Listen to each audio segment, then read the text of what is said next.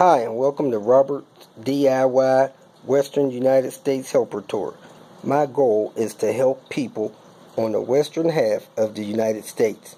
If you're in the mountain time zone or the Pacific time zone, contact me to see if I can help you with your DIY needs. Starting off today, working on this 95 T5R Adam has here in Portland, Oregon. We're going to finish getting this head on hopefully get it started and then I'll be headed up to the Seattle area.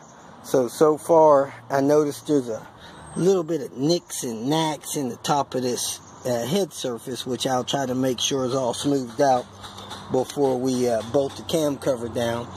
I'm, get, I'm getting the exhaust manifold bolts torqued down.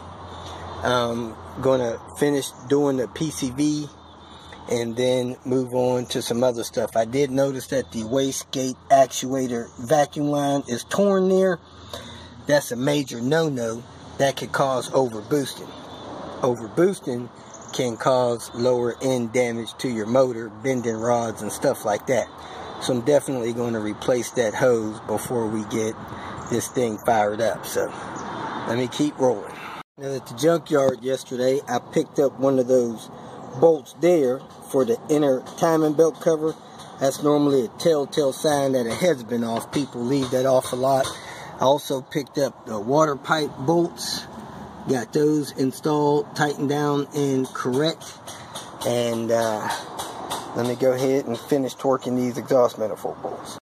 Day before yesterday, I noticed that somehow somebody got this dust cap on backwards and locked it in the head so I'm going to try to get that loose. Those bolts were not over tightened for some reason this time. So I'm going to pull that off, pull that uh, retainer off inside there, then remove this and put it on properly. We have a yuck situation here. The cam sensor was laying down in the engine and it's cracked. So there's a chance that this vehicle uh, will not function properly long with that crack uh, cam sensor plug. When they deteriorate, they normally cause issues. So we'll have to watch that. Let me go ahead and route this PCV around here and keep moving. I just pretty much emptied the car out looking for my engine assembly grease, which I have evidently left somewhere. This is my unofficial way of cleaning trash out of the back of the car. So I'm going to have to use maybe a little bit of uh, brake grease lube to lube up those cams because I do not want to start that car without uh, some kind of lubrication on those cams thicker than oil. Let me check one more time and start to put that cam cover on. Cleaning up this cam cover, it looked like somebody took some kind of buffing polishing wheel to this thing Hopefully they didn't make any low spots and mess it up so that it doesn't seal. There was a lot of oil on top of it and hopefully it's not going to be an issue. Got a nice even coat of the anaerobic sealant. I'm going to go ahead and set this cam cover in place, start the screws and go pick up Diane. Went and picked Diane up. I am back at it getting ready to screw down this cam cover. We have one screw that I know is stripped.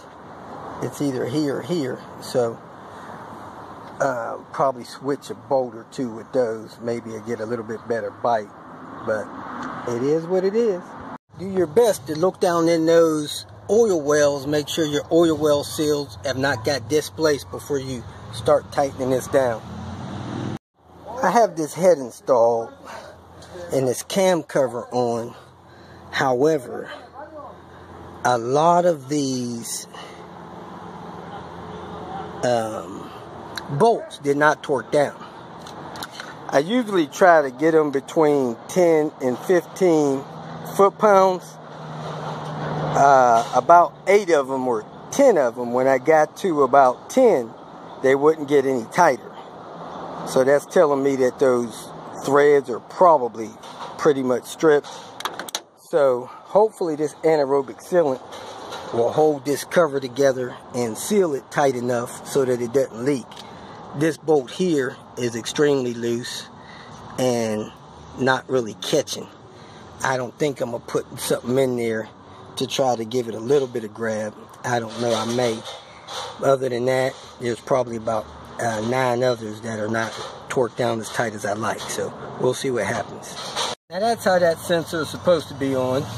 We got the EGR on. We got the PCV tube up through here. I almost locked it under the intake. We have the lower bolts in the intake. We got oil dipstick tube on. We're replacing the spark plugs because the one that was in there looked foul. We uh, have a little crack in the cam sensor plug, but that may be okay. I got the cam sensor on. I'm getting ready to put the rotor cap and plug wires on after he gets done with the plugs. Here's the set of Bosch Platinum Plus that came out of them, and they just look fouled, so we're putting the Volvo plugs in there. We're just about ready to start this thing. We got the PCV in and replaced. We got the turbo pressure lines in. We got the air box in. We got the battery in and connected. We have uh, oil in it. We got some distilled water going in it. We do not have the serpentine belt connected because we don't need that to crank the engine and see if it starts. We got the fuel lines connected and uh, everything should be on go to fire this thing up. Now we did have an issue where there may have been some kind of fuse or bad ignition, so we're going to pull the collar and see if a replacement ignition switch will solve this thing. The battery connected, we do have a clock, but when we turn the key to run, we have nothing, but it is cranking, so I don't know what's going to happen here. You ready to, for me to fire it up? Up, battery's too weak. Let's get a booster. This is the oil we just drained, which was fresh oil, but it mixed with coolant so fast that it uh, it didn't happen. You know, that's an example of a blown head gasket leak. Okay, we get a booster on it. Let's see if she fires up. We got crank, no start. We got some kind of problem. So we're going to try the ignition switch. We're trying to see if the ignition switch is bad. So I set another ignition switch down there. I'm going to turn it with a screwdriver. I got the key turned on so the car's not locked. And we'll see if we get dash lights and possibly get this thing to start. We still do not have any dash lights. So there's probably some other relay that is out. I came under here and switched these J relays around this one here smelled like it was burnt. It was in this position. So I flip-flopped those, turned the key, we got dash lights, and she fired right up. All right, Adam's car is up and running. So we're about to take his other ride for a spin, have uh, something to eat, and we're going to head a little further north up to the Seattle area. The rest of Adam's herd, he has this Suburban here gas guzzler number one. He got a good deal on this cop car here. Gas guzzler number two. And then he has his Swedish performance machine tuned by ARD and he bought it with a manual swap. So it's a 96 uh, 850R. So we're going to take this and go for what we would consider a fun ride, not a joy ride, and get a bite to eat. This is under the hood of Adam's car, ARD tuned with the manual swap. He's got the polished intake manifold, polished cam cover, reverse intercooler piping. He's got the cold air intake. Sounds pretty nice. Looks like he's got maybe a NA throttle body. It's extra large, but uh, man, it's got some power. It breaks those tires loose. He's also got the uh, brake rotors are painted Swedish, and they are, well, the calipers rather, and they are the 302s. And my wife kind of liked the pedals. For the uh, manual, he's got the metal pedals. Metal pedals, that's kind of got a ring to it. He's got his pod up here. I didn't check what the boost pressure was. I was too busy trying not to run anybody over. If you feel that this information was useful, please like it and share it with your social media friends. You can subscribe to my channel so that you will get notifications of future videos that I post.